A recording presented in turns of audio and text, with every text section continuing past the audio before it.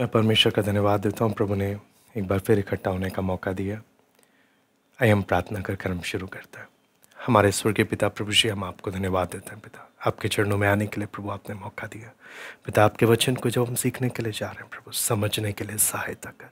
सब बात आपके हाथ में सौंपते हैं प्रभु, आपकी उपस्थिति अगुवाई चाहते हैं। सारा आदर, महिमा, केवल हम आपको देते हैं। प्रार्थना प्रभु यीशु मसीह के नाम से मांगते हैं।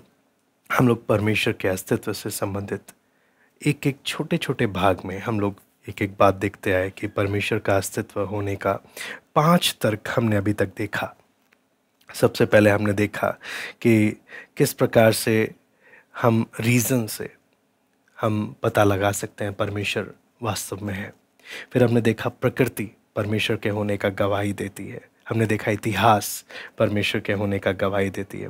मानवीय जीवन से तर्क, मनुष्य का विवेक परमेश्वर का होने का गवाही देता है।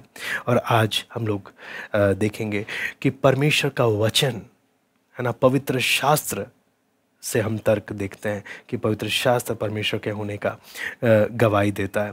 तो जब हम पवित्र शास्त्र के तर्क में हम जब जाते हैं बाइबल के जब हम तर्क में जाते हैं तो इसकी सटीकता, कि इसमें लिखी हुई बात कितना सटीक है और कितना सच है है ना, इसके दावे। क्योंकि बाइबल दावा करती है है ना, कि मैं कोई और मनुष्य के लिखी कोई साधारण पुस्तक नहीं हूँ। बाइबल दावा करती है कि ये परमेश्वर का वचन है। जिसके लिए मैं कुछ वचन आपको इसमें से पढ़ना चाहूँगा। दूसरा तिमोथियस, तीसरा अध्याय, उसका सोलह सत्रह। दूसरा तिमोथियस, तीसरा अध्याय, उसका सोलह सत्रह।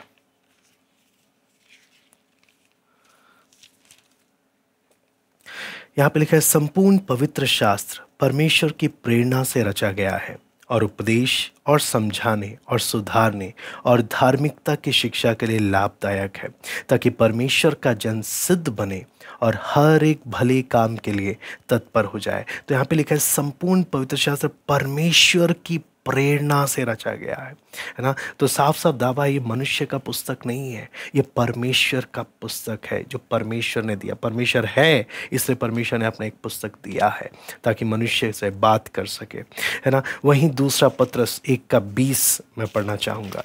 दूसरा पत्रस, पहला अध्याय, उसका बीसवा वचन। पर यह जान लो कि पवित्र शास्त्र की कोई भी भविष्यवाणी किसी के अपने ही विचारधारा के आधार पर पूर्ण नहीं होती। इक्कीस में लिखा है, क्योंकि कोई भी भविष्यवाणी मनुष्य की इच्छा से कभी नहीं हुई, पर भक्त जन पवित्रात्मा के द्वारा उभारे जाकर परमेश्वर की ओर से बोलते थे। है ना? तो यहाँ पे लिखा है, भक्तजन उभारे जा रहे हैं पवित्र आत्मा के द्वारा। यानी वचन साफ़ साफ़ दावा करता है, भाई, इसको आम व्यक्तियों ने अपनी बुद्धि से नहीं लिखा। ये कोई मनुष्य की लिखी साधारण पुस्तक नहीं, ये परमेश्वर की पुस्तक है जो परमेश्वर ने लिखवाई है।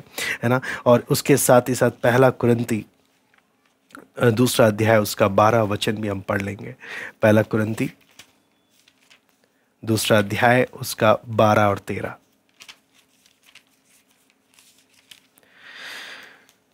पर, परंतु हमने संसार की आत्मा नहीं, परंतु वो आत्मा पाया है जो परमेश्वर की ओर से है, कि हम उन बातों को जाने जो परमेश्वर ने हमें दी है, जिनको हम मनुष्य के ज्ञान की सिखाई हुई बातों में नहीं, परंतु आत्मा की सिखाई हुई बातों में आत्मिक बातें, आत्मिक बातों से मिला मिला कर सुनाते हैं। यानी साफ़ साफ़ परमेश्वर का वचन दावा करता है है ना? उसके साथ साथ आप अगर यर्मियाई का एक से तेरह भी जब आप पढ़ते हैं तो परमेश्वर कैसे बात कर रहा है यर्मिया से, वो बात भी आपको वहाँ पर स्पष्ट आपको समझ में आएगा। लेकिन ये छोटा सा सेशन हमारा प्रयास एक छोटे छोटे भागों में हम एक एक तर्कों को देखते हुए, क्योंकि ये प्रचार नहीं एक स्टडी है वचन का शिक्षा का अध्ययन है और बहुत ध्यान से हमें एक एक तर्कों को समझते हुए हमें सीखना है, याद रखना है और आने वाले समयों में हर परिस्थिति के लिए तैयार भी रहना है। कई बार जब हम घर बनाते वक्त देखते हैं तो अक्सर लोगों की इच्छा होती है घर देखना है है ना? तो कई बार जो नींव होता है है ना? उसको वो कई बार इंटरेस्टिंग नहीं दिखता। जल्दी इच्छा होती है कि बस घर बना हुआ दिख जाए। लेकिन जो विषय हम लोग जो सीख रहे हैं और वो भी छोटे छोटे भाग में, चार मिनट, पाँच मिनट छः मिनट, ये एक नींव की फाउंडेशनल बातें हैं। ये हमारे उपदेश की बुनियादी बातें हैं।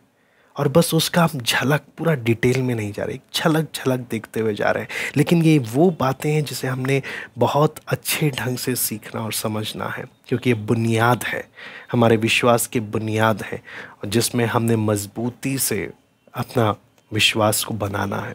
तो इसलिए वापस जब हम इस विषय पे आते हैं तो कोई और पुस्तक, दुनिया में कोई और पुस्तक नहीं है बाइबल के सिवा, जिसे परमेश्वर के संदेश के रूप में स्वीकारा जाता हो। कोई और पुस्तक बड़े स्तर पर नहीं अपनाया जाता।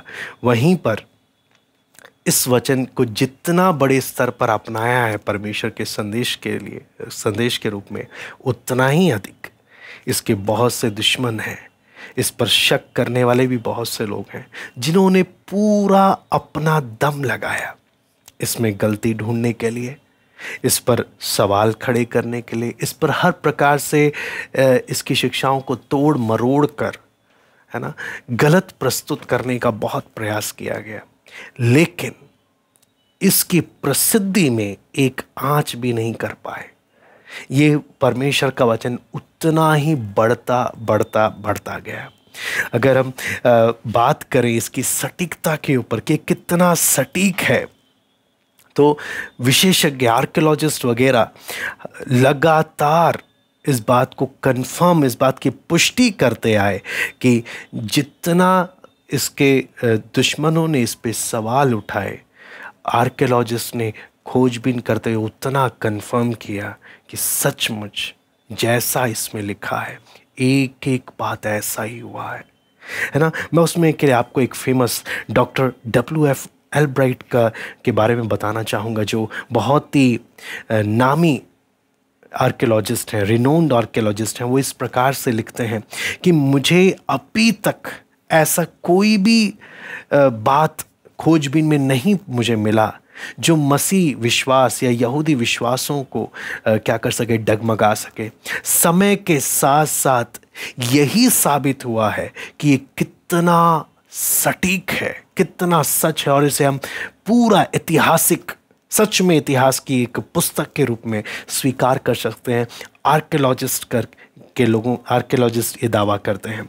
तो दुनिया में कोई और पुस्तक है ना? चाहे नैतिक या आत्मिक शिक्षा की भी बात हो, नैतिक या आत्मिक शिक्षा की बात हो, इसकी बराबरी में कोई भी नहीं है। इतना उत्तम, मैं आपको बोलता हूँ, इतना उत्तम पुस्तक है और ये हमें कैसे मालूम चलता है? मनुष्य का लिखा हुआ पुस्तक सवाल उठा के कमियाँ निकाल सकते हैं, क्योंकि कोई भी मनुष्य परफेक्ट नहीं है। और हर मनुष्य के कितना भी ज्ञानी हो, कहीं ना कहीं सेंध लगाया जा सकता है। लेकिन जो पुस्तक परमेश्वर ने दिया है, इसमें, इसकी खासियत है, हज़ारों साल से कमियाँ ढूँढने वाले लोग एक कमी नहीं निकाल पाए। ना जानने के कारण गलत फहमियाँ लोगों में उन्होंने बहुत उत्पन्न करी जिन्होंने वचन को सही रीति से समझा नहीं।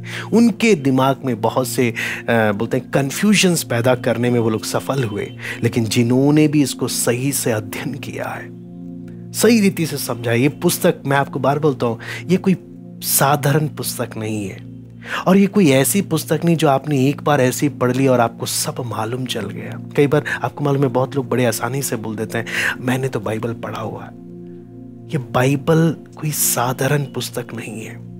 इसमें इतना खजाना है, इतना खजाना है, सदियों से, कलीसिया के इतिहास में सदियों से प्रभु के दास लोग इसके मोतियों को, इसके भेदों को खोदते खोदते खोदते इसके हीरों को निकालते निकालते पीढ़ियाँ बीत गई हैं। कलीसिया का इतिहास बोलता है, फिर भी इसके खजाने कभी खत्म नहीं हुए। लेकिन ये वो बातें हैं जो केवल परमेश्वर प्रकट करता है। केवल परमेश्वर प्रकट करता है, इसलिए इसे नम्रता के साथ पवित्र आत्मा की सहायता से जब आप इसका अध्ययन करते हैं।